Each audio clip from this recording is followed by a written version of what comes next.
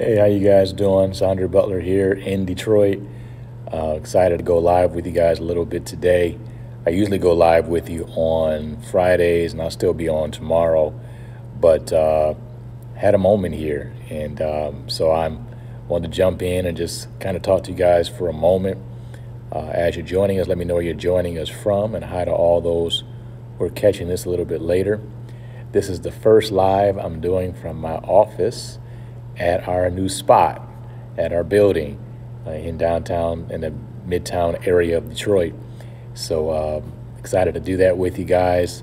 We're going to get this place painted in a couple of days, so it's going to look a little different. So right now it's just empty, but uh, I'm glad to be here working. Just finished putting our message together and uh, just excited about the fact that in 10 days we'll have our opening day experience here and uh, we're excited about it, man. We're excited about what God has done through FX Church starting on 9 9 18 and what he's doing on 3 7 21. And I noticed that 9 plus 9 equals 18. We kind of use that going into our new building or starting the church. And now 3 times 7 is 21. So, so, um, so excited about that.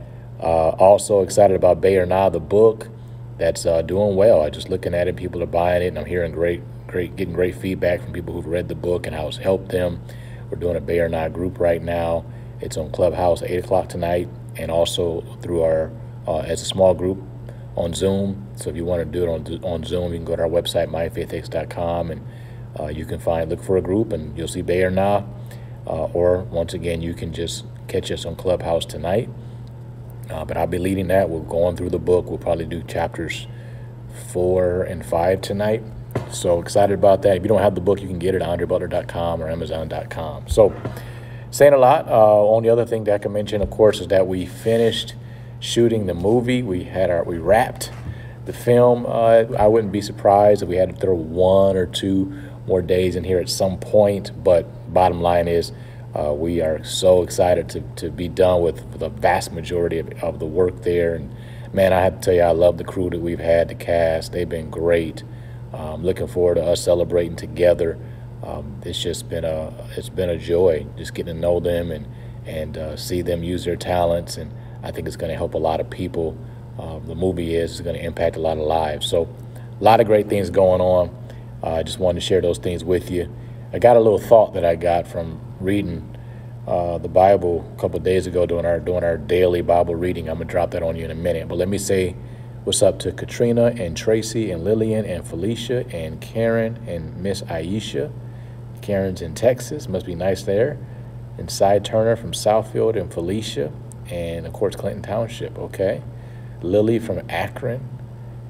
Hello, is that um, Brandy Gibson? Hello, good to connect with you. Tabby Cat, good to catch up with you as well.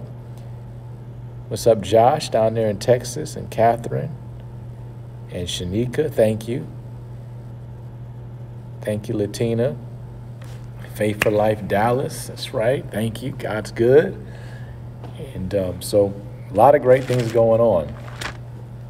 So, what do you guys want to talk about? I got about 10 minutes or so. I'm waiting for a vendor to come look at some things. We're trying to obviously get some signage up. Honestly, there's a lot of stuff we're trying to do to get ready for 10 days from now. Uh, but I figured I had a moment so I can talk to him or talk to you guys and and then if he doesn't show up sometime soon, I'm going to get some lunch because I'm hungry. But so, but thank you, Felicia. Thank you. So definitely excited about all of that. So what's on you guys' mind? Anything in particular you guys want to talk about at all for a few minutes? Anything? Uh, any prayer requests? Definitely we can pray with you about anything that you, any concerns or that you may have, anything you believe in God for. Hello, Heather Holt TV and Kevin.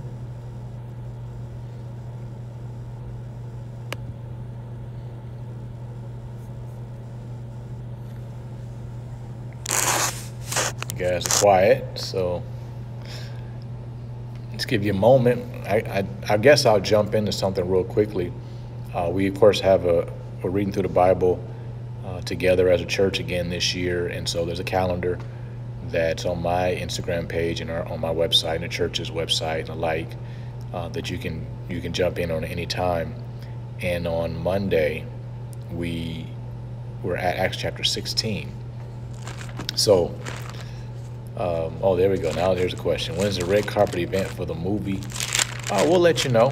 We are we're really taking this step by step. So, uh, sure, I have some ideas how, how we want to distribute it when we want to release it. But I literally just met with one of my producing partners yesterday, and we're really taking the position of okay, let's just let's go ahead and get through post production, and let's do you know our research on other distribution options. We know some basic things we can do uh, and we'll see what doors God opens. So I, I, do fully expect the film to come out this year.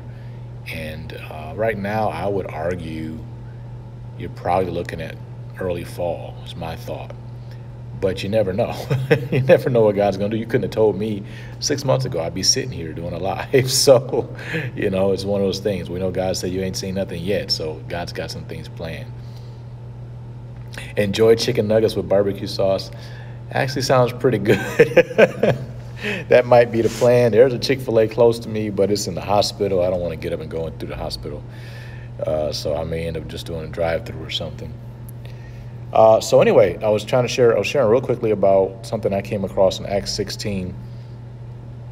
And uh, it talks about Paul and Timothy. And it says in verse 1 Then came he to Derbe and, and Lystra, and behold, a certain disciple was there named Timotheus the son of a certain woman which was a Jewess and believed, but his father was a Greek, which was well reported of by the brethren that were at Lystra and Iconium.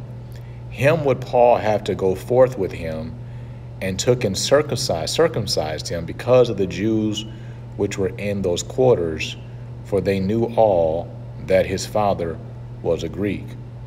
And as they went through the cities, they delivered them the decrees for to keep that were ordained to the apostles and the elders which, at, which were at Jerusalem. And so the churches were established in the faith, faith and increased in number daily. So here's what jumped out at me. I was opening my Bible to read that Monday. Wasn't looking for something to share. I'm just reading my Bible, you know. And uh, man, it hit me like a ton of bricks. What kind of dedication is this? Think about it. Timothy was a grown man, and he allowed himself to be circumcised simply so he could travel and preach with Paul. That's some serious dedication as a grown man. And notice, it wasn't because that's what he needed to do to be saved. It's not that's what he needed to do to be accepted by God. It was not a gospel requirement. And Paul knew that. And probably Timothy probably knew it as well. You didn't have to be circumcised at that point. Those days were over.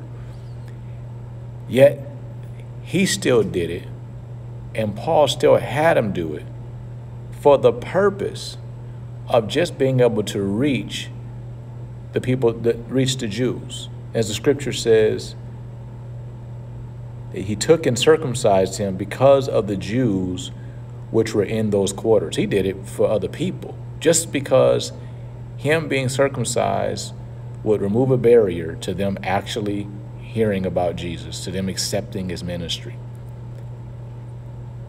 That's deep. That is serious dedication. Um, this is First Corinthians. I guess the first thing I thought was, I literally put this in my notes. I'm reading to you from my notes. What am I complaining about again? so what am I complaining about? God said do this. God said do that. That none of that, none of that compares to being circumcised just because somebody else might have a problem with who my father or my mother is. Wow.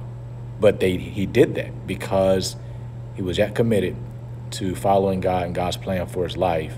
But the second thing that's deep here is this is actually really similar to what Paul said in 1 Corinthians 9. To the Jews, I became as a Jew. To the Greeks, as a Greek. To those without Christ, uh, without law, as those without law. To those under law. In other words, I'm adapting, I'm adjusting how I present myself. I'm adapting how I minister, not in any way violating the law of Christ. I'm not going to go against God's word. But when it comes to customs and presentation and things along those lines, I'm going to do whatever it takes so that I can win some. And that was also something that jumped out of me about this. And I think it's the reason why, even as a church, we do ministry a little differently than traditional churches because it's not about tradition. It's, not, it's about doing whatever it takes to reach people. And even if it's something as little as not wearing a suit or the type of music we listen to or our designs or you know some even those things we're, we're willing to make a change i've said it many many times wearing a red nose while i preach like a clown help somebody get saved who wouldn't got saved otherwise i would be willing to do it we want to remove barriers from people receiving Jesus. We want to make it as easy as possible. We want to do what it takes so that they can miss hell and go to heaven. And Paul understood that to the place, and Timothy did too, clearly, to the place of the man being a grown man being circumcised just because it might help somebody else receive the truth about Jesus. So, just a little nugget today that, that jumped out at me. I, I, I thought about it a couple of times and just made me think, man, we ought to be willing to sacrifice for God. We ought to be willing to sacrifice for others. Uh, make whatever adjustments we have to make as a pastor. I've said it when I pastored the last church, this church I pastor now. Man, it ain't about us. It ain't about us. It ain't about our preferences. It's not about, you know, uh, how it used to be. It's not even about, you know, the elders. Now you honor the elders. You know, the Bible talks about that, but you don't. But the goal in life is not just to honor what they did. We can't live in the past. It's about reaching people now. And so a couple of thoughts that jumped out at me about that. Maybe God can help you guys, even when we talk about ourselves and what God's asking us to do and God's requiring us to do right now. You know, a lot of times it causes you to be uncomfortable. This whole process has been extremely uncomfortable for me. Uh, I paid a price for years to not be in this position, you know. Um, but this is what God required of me. You know, doing starting a church and starting from scratch and all the things I've gone through, and yet it's nothing compared to being circumcised, right?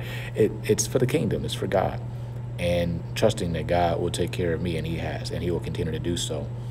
And He'll do the same thing for you if you're willing to truly, truly give your life to Him. Not your Sundays, not the things that you agree to give to Him, not the things that are a little bit more comfortable, but your life in every single way.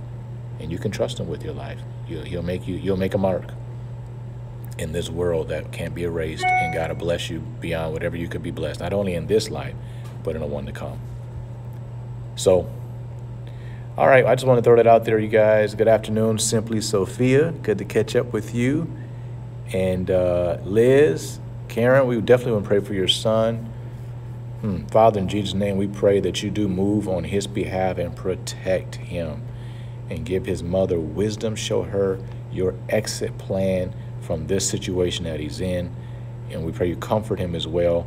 We give you the praise and glory for it in Jesus' name. Amen. All right. Thank you, Lillian. Glad you enjoy our messages. Hey, Queen Esther. And Glenda, thank you.